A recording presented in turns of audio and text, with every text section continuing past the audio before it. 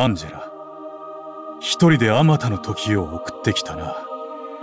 エルシャから図書館まで。あなたもねベンジャミン。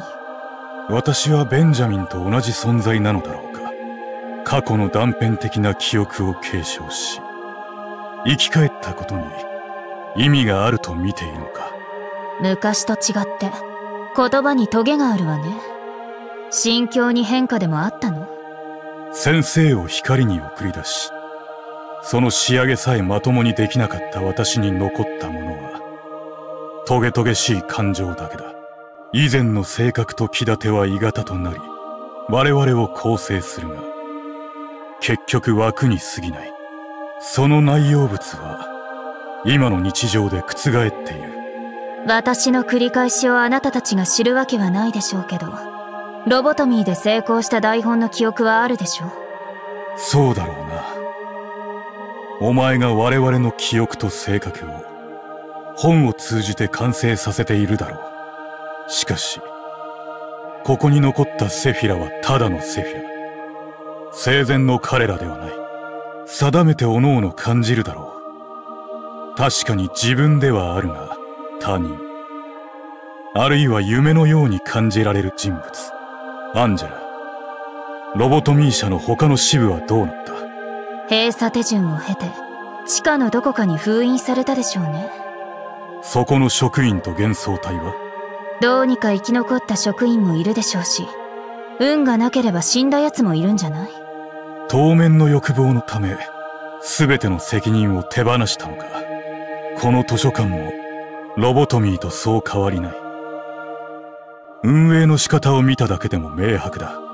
私が地面の下にぶち込まれて学んだのは人間を部品として消耗するあらゆる方法だけだったわ果たして選ぶことのできる別の方法があったのかしら。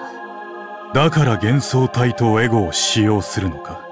不安定な感情を増幅させるために。再び誰かの自我の殻をかぶせて。自ら足を踏み入れてきたゲストを接待する時だけじゃない。誰よりも過去から逃れたがっていながらも私みたいに過去から逃れられずにいる。利用できるものは利用するだけよ。あなたもアインに利用されたから。私もあなたを利用するというわけ。あの人はあなたたちを勝手に生き返らせ無理やり苦痛を繰り返させたわ。舞台の上。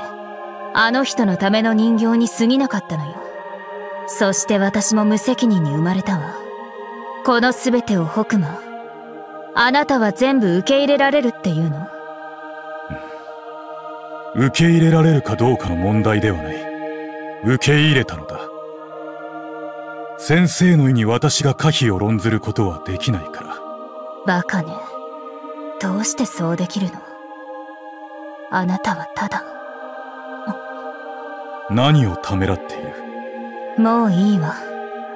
アンジェラ私は信じているから可能なのだ。信じているからお前を見張ることにした。鬱陶しいわね。あんたもアインもさらにネジが外れたんじゃないの。やっぱりあんたはベンジャミンじゃない。ベンジャミンは少なくともベンジャミンだけは私に人間じゃなくてもいいって言ってくれたたった一人の人間だった。そうとも。君の目の前にいるのはベンジャミンではなくホクマーという存在だ。そしてアンジェラ私が人間かそうでないかは重要ではないと思っているのはベンジャミンと同じだ。本の整理でも終わらせなさい